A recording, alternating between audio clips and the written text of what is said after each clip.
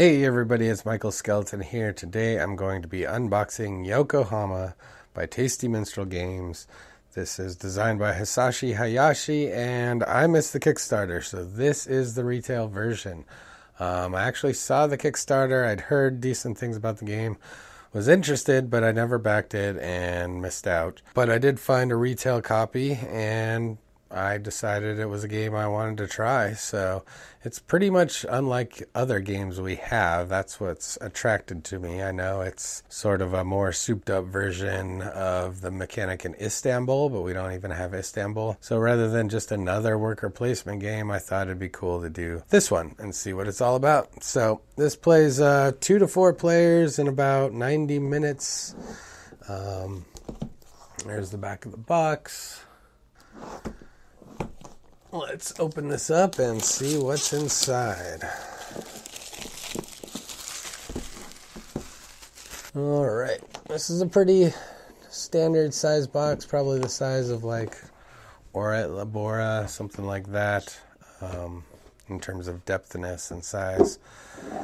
Here we've got the rule book. Nice, full color, glossy components, how to set up a game, all the different rules. So, all in all, we have 18 pages and a quick turn summary on the back. And here we have punch boards. So I know the Kickstarter had meeples in the place of all these resource tokens. So here we've got fish, tea leaves, I think that one is, not exactly sure. We've got money, various buildings. Um, but I kind of like chits in terms of games like, well, Ora et Labora, I guess, is one of them. But um, I was thinking Le Havre actually with the million different chits that they have. I do kind of like that. Wow, these are punching super easy. So that was punch board number one. Here is punch board number two. So that is tea leaves. This is uh, silk down here. These are actually um, shops and trading houses. Here's punchboard number three. We've got now uh, copper. These are actually the score counters, one in each color. Punchboard number four. We've got imports. That's these yellow crates. And down here, we've got the foreign agents, which if I flip this over, we'll have various countries on the other side. Punch board number five, church management, customs management board. Nope, this one's coming out already. This is number six. Number seven. Number eight. So here you can see the uh, warehouse tiles for each player. Number nine. Two more warehouse tiles. And here we start to have the locations. So this is number 10. Got Church, Canal, Bank, and Chinatown. Number 11. Number 12. Number 13. Number 14. A couple tea plantations. Guess I should show you the back. Looks like that one you're using in four player only. This one's just general. And here we have the uh, point tracker. So lots of cardboard in this box. Love that. Those are my favorite games. Um, we've got tons of baggies for all everything I just showed you, and we have meeples for each player in the four different colors. So we've got standard cubes here: green and blue, red and yellow. Believe these are just your workers or I think they call them assistants in this game. And then four president pawns for each player color. Looking good. Now we've got two packs of cards.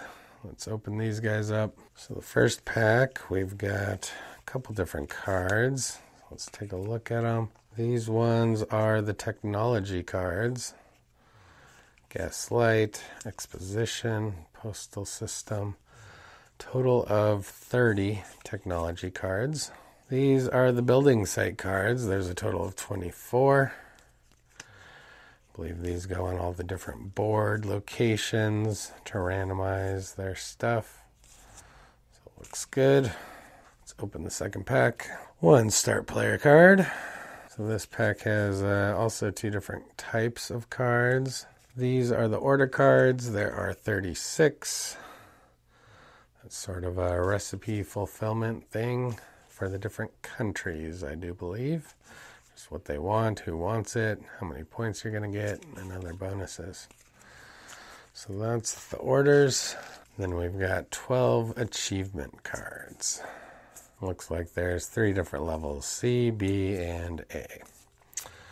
Um, four of each. One, two, three, four. One, two, three, four. Yep, four of each.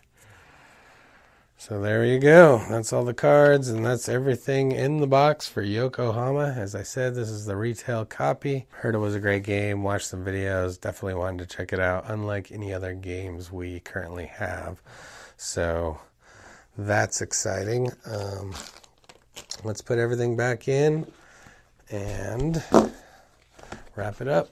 Just to give you an idea, that's how thick all the punch boards are all together. So quite a hefty chunk of components and tiles there. All right, and that's it for the unboxing of Yokohama by Hisashi Hayashi and put out by Tasty Minstrel Games. Um, let me know in the comments if you've played this, if you want to play it, if you've got the deluxe or the regular what you think about it in general. If you enjoyed this video, please give me a thumbs up and consider subscribing for future videos. If you want to check out more of my videos, just click the links on the screen and maybe you'll find a new game to play. All right, guys, with that, Michael Skeleton is out.